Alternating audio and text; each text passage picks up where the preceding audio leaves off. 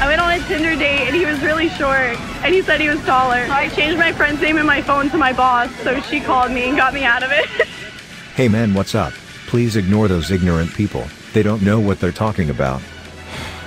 Feel like working out together, brah? I can't make you taller, but I can make you part of the family.